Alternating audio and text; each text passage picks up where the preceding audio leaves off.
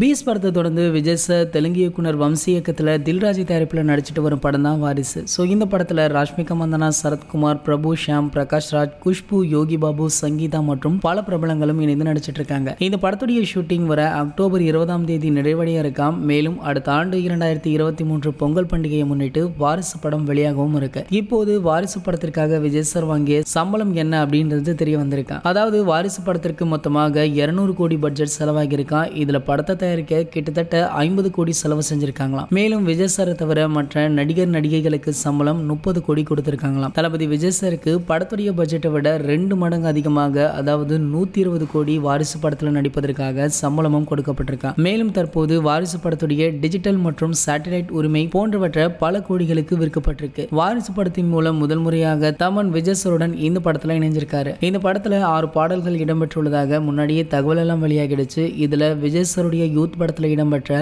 ஆல்தோட்டா பூபதி பாடல் ரீமேக் செய்யப்பட்டுள்ளதாகவும் சொல்லப்படுது. மேலும் வர அக்டோபர் இருபத்தி நாலாம் தேதி தீபாவளி பண்டிகையை முன்னிட்டு வாரிசு படத்துடைய ஃபர்ஸ்ட் சிங்கிள் வழியாக வாய்ப்புள்ளதாகவும் சொல்றாங்க. இதற்காகவும் விஜய் சாருடைய ரிசல்ட் ரொம்பவே ஆவலாக வெயிட் பண்ணிட்டு இருக்காங்க. இந்த படத்தை பற்றி அடுத்தடுத்த அப்டேட்டுகள் விரைவில் வெளியாகும் அப்படின்னும் சொல்லப்படுது. சார் ஓகே யாரெல்லாம் ஃபர்ஸ்ட் சிங்கிள் ட்ராக்குக்காக ஆவலுடன் வெயிட் பண்றீங்களோ மேலும் தளபதியுடைய சேலரி பத்தி நீங்க என்ன நினைக்கிறீங்களோ அதை கீழே உள்ள கமெண்ட் செக்ஷன்ல கமெண்ட் பண்ணுங்க. மேலும் இது போன்ற நம்ம விஜய் சார் பற்றி வெளியாகும் அனைத்து செய்திகளுமே நீங்க உடனே தெரிஞ்சுக்க.